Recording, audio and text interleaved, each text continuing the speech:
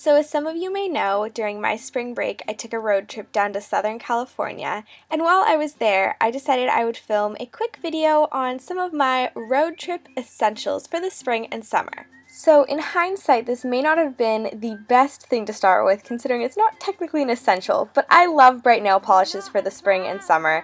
This one is called Boozy Brunch, and I like putting this as a bottom coat and then layering on top Blazed. I don't know why there's a trend in those names, not stuff I was doing over spring break, promise guys, but I love that combination.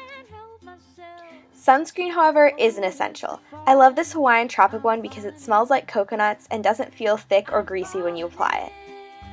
Next is a yummy smelling body lotion so that after a long day out you can come home, relax, put on some nice lotion and wake up the next day feeling refreshed and moisturized. This is perhaps a pre-road trip essential, but I love me some self-tanner, especially at the start of spring and summer when I am pale and pasty like nobody's business. I love Jergens, it's my tried and true product, I always come back to it, and I highly recommend it for the perfect, simple self-tan. Here we find the waterproof mascara in its natural habitat. Obviously an essential if you're going anywhere aquatic because you do not want your mascara running all over your face if you end up getting wet.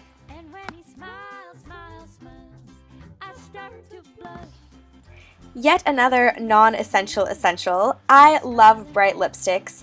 This one is especially fun because it's an orange, a color that I didn't think I could pull off but actually really like. It's lots of fun just to top off a simple going out outfit just to give it that extra summer kind of vibe. This here lip gloss is a, an essential masked as a non-essential. This is a Tendertone from MAC in a really pretty color, but it has SPF in it, which is really, really important. Contrary to popular belief, your lips can burn too. And while we're on the topic of protection, let's not forget our eyes. You've got to have your pair of sunglasses, or two, or three. Um, I may have overdone it in the sunglass department, but hey, I wanted options. I love these light colored pairs to pair with very simple girly outfits, but then you gotta have your classic black sunglasses when you're feeling oh so chic. And then who would want to be without a fun, bright pair? You know, let's be real. My mini Tide to Go, so near and dear to my heart, is such an essential. I am the messiest of eaters, and as a result, I'm constantly using this to remove stains on the go.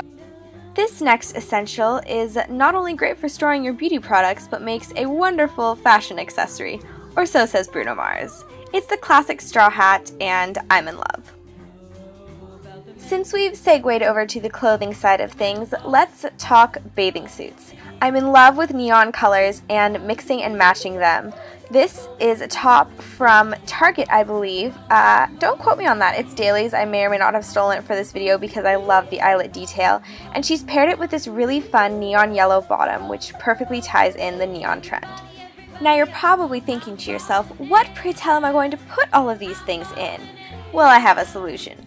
Get a cute crocheted beach bag like this one from H&M. Super cheap and super handy.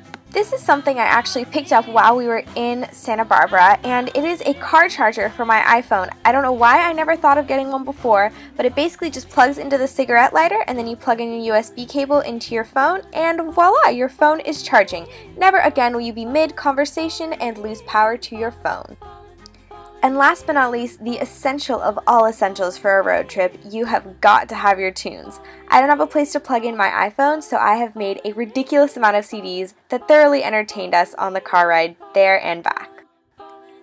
So I hope you guys enjoyed, and I hope you have fun wherever your road trips may take you. Bye, guys.